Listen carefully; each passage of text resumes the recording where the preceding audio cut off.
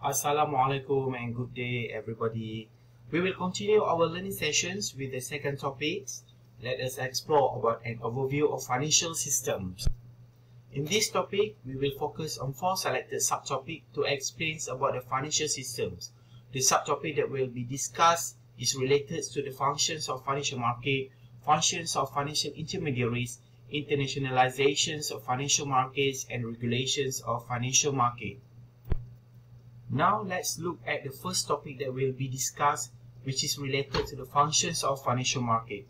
What is the financial market?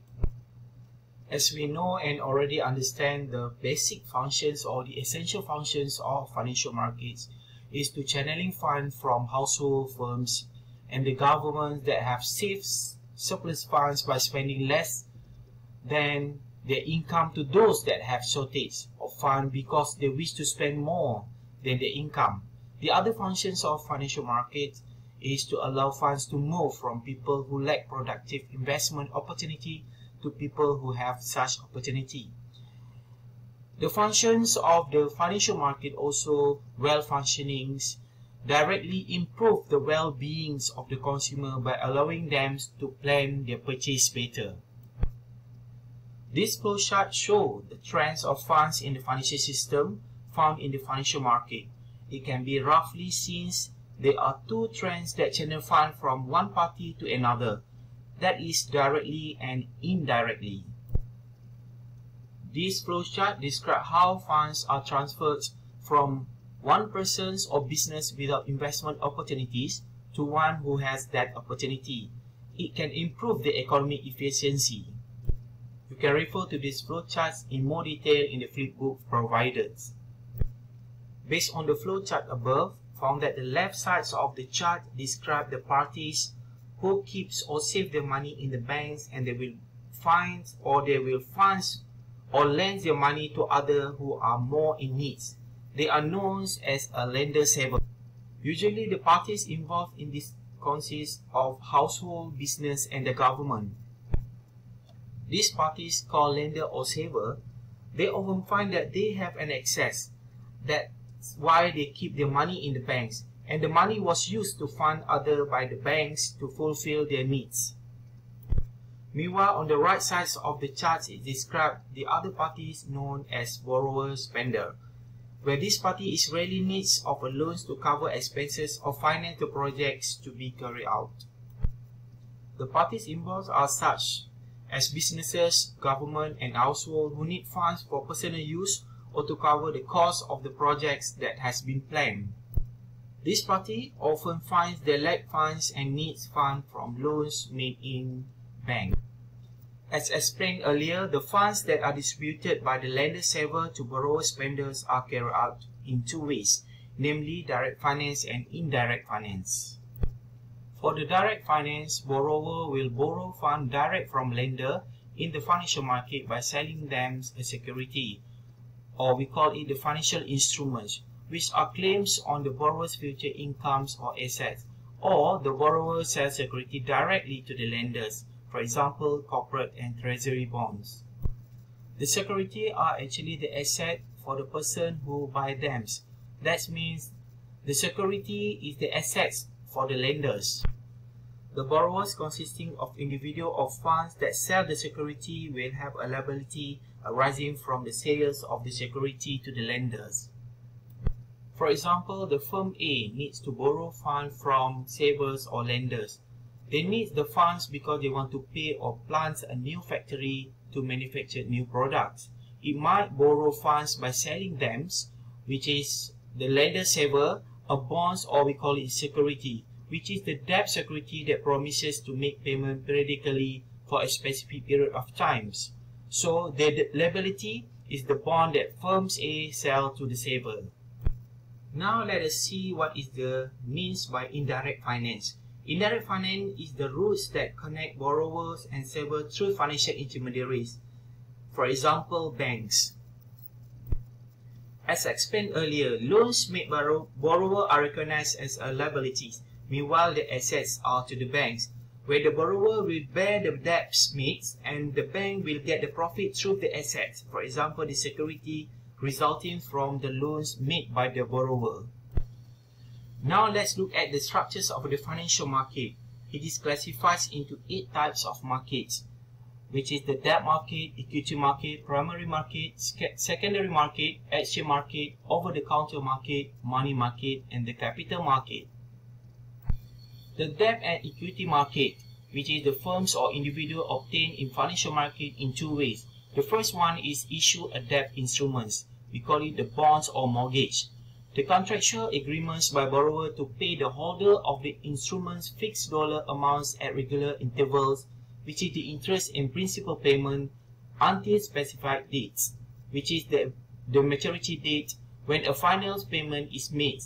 The maturity date is the number of years until the instrument's expiration dates.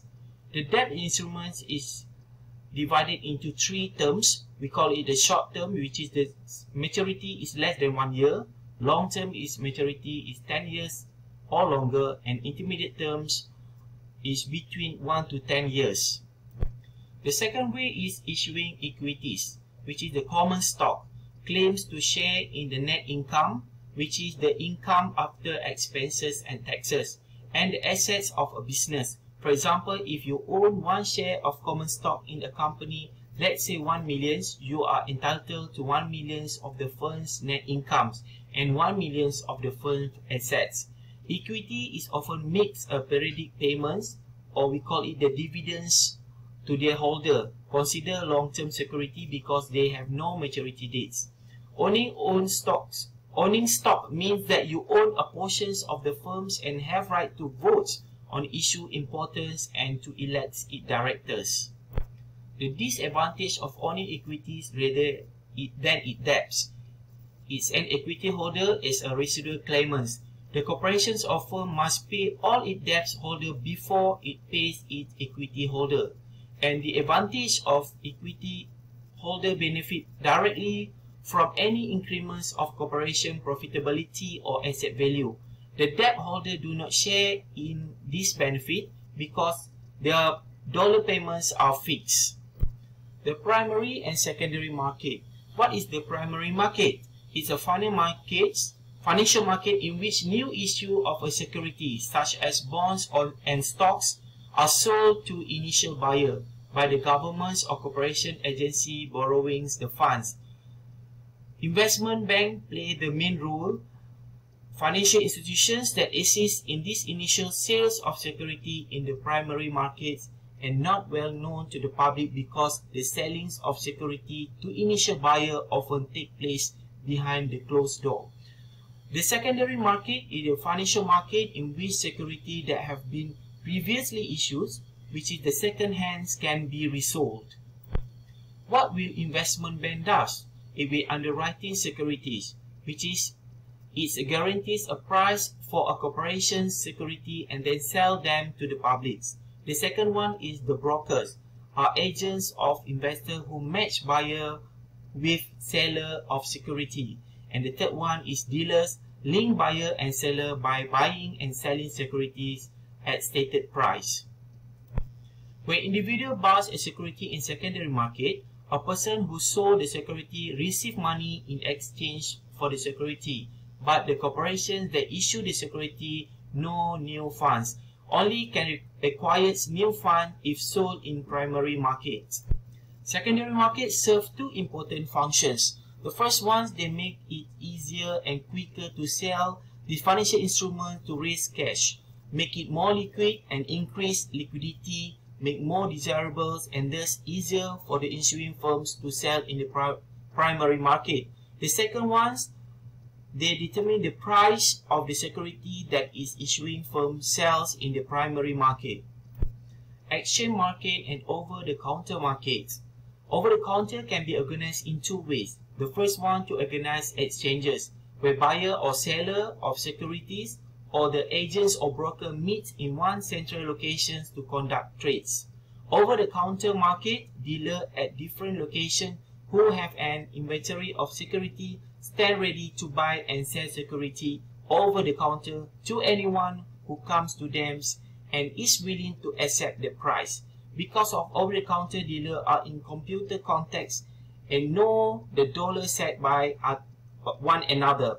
Over-the-counter market is very competitive and not very different from the market with an organized exchange. The last one is money market and capital market. Money market security usually more widely traded, longer term security and so tends to be more liquid. Short term security have smaller fluctuations in dollar than long term security, making them safer investment. Corporations and banks actively use the money markets to earn interest on surplus funds that they accept to have only temporarily. Capital market or stock or long-term bonds, often held by financial intermediaries such as insurance companies and pension funds, which have little uncertainty about the amounts of funds they will have available in the future. Okay guys, I will continue the discussions on this topic in the next video with the title of Functions of Financial Intermediaries. See you there.